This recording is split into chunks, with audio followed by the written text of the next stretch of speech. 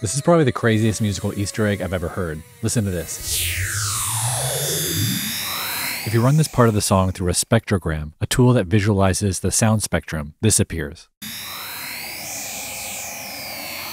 That's the face of Richard James, the man behind Aphex Twin. Turns out he produced the sound using Metasynth, a program that creates sounds from images, in this case, one of his face. This actually became a bit of a trend in the early 2000s. Here's my favorite.